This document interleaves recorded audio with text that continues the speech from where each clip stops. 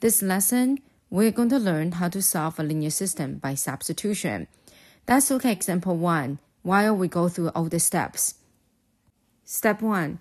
Isolate one of the variable by rearranging the equation. Whenever we choose a variable to isolate, we choose the variable to have the coefficient of 1 if possible. So if you look at those two equations, equation 1 and 2, equation 1, the variable y has a coefficient of 1, so we are going to isolate for this y. From equation 1, we know 2x plus y equals 6. Let's isolate for y by subtracting 2x on both sides of the equation. We get y equals 6 minus 2x. Step 2. Substitute the isolated variable from step 1 into another equation to solve for another variable. So we will substitute y equals 6 minus 2x back into equation 2. So we get 3x plus 2. Whenever you see y, you replace it with 6 minus 2x equals to 10. Expand and simplify, we get x equals to 2. Step 3.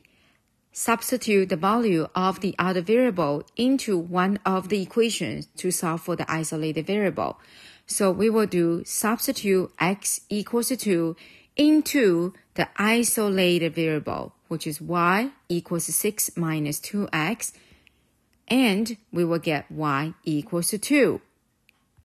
Let's check our solutions before we make a conclusion.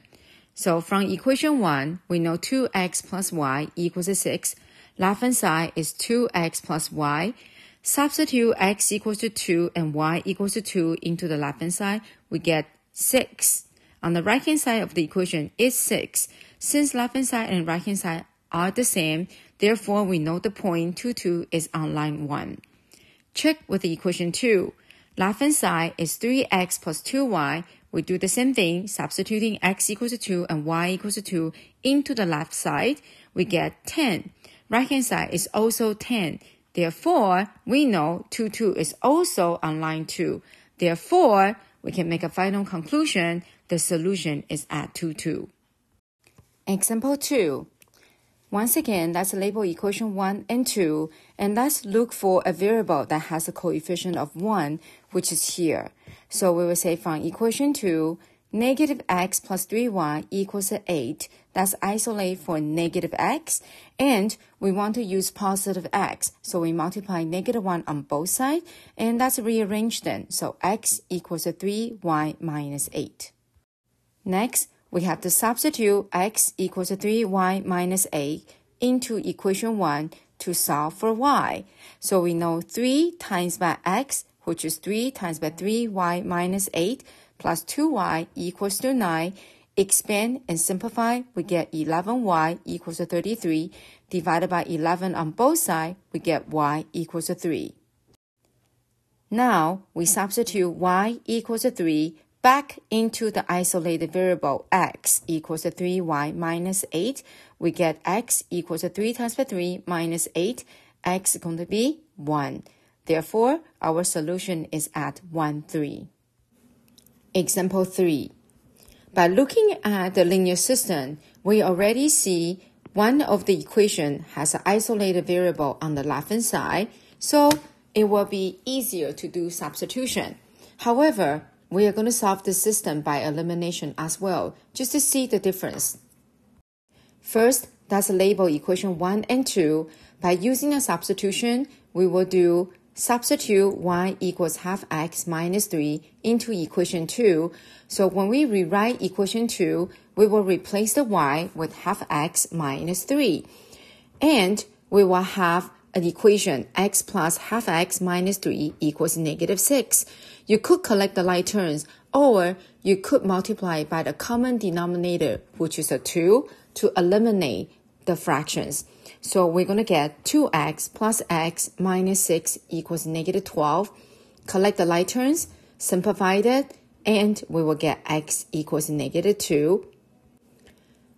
Substitute x equals negative 2 back into the isolated variable, y equals half x minus 3. Then we will get y equals negative 4.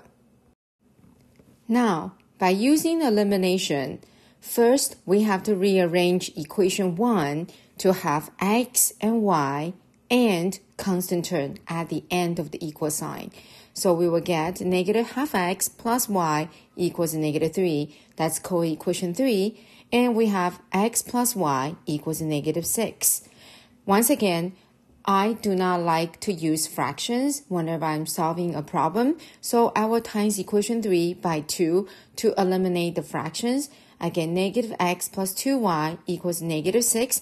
The other equation remain the same. So now I look at the variable x. They have the same coefficient. One is a negative 1. The other one is a positive 1. So I'm going to use addition to eliminate the variable x. So equation 4 plus equation 2 I got 3y equals negative 12. y will be negative 4. Substitute y equals negative 4 into equation 2. I will get x minus 4 equals negative 6 and I can find x is negative 2. Therefore, the solution is negative 2, negative 4. Example 4. As you can see from this example, there is no variable that has a coefficient of 1, so it will be best to use elimination. So that's the label equation 1 and 2. In order to get rid of the decimals in equation 1, we have to times by 10. So equation 1 times by 10, we will get 5x minus 4y equals to 5. That's a co-equation 3. And from equation 2, once again, if we times by 10, we will be able to get rid of the decimal, so become 30x plus 8y equals to 14. That's a co equation 4. In order to use elimination, we need to make sure one of the variable has the same coefficient. So I look at negative 4 and 8. The common multiple will be 8. So equation 3 times by 2, I got 10x minus 8y equals to 10, and equation 4 remain unchanged. I look at the coefficients of the y. One is negative a, the other one is positive a. So we know we have to use addition to eliminate the variable y. So we do equation 5 plus equation 4. We get 40x equals to 24. Divided by 40 on both sides, reduce the fraction. So we know x equals to 3 over 5. Once we find the value of x, we can substitute x equals to 3 over 5 back into the equation 1, 2, 3, or 4 to solve for y. However, since this value is a fraction and sometimes it could be very easy to make a mistake, therefore we could do elimination again to solve for y. So I will go back to the linear system here, equation 3 and 4, and try to make the coefficient of x to be the same. So equation 3 times by 6 to get a 30x minus 24y equals a 30.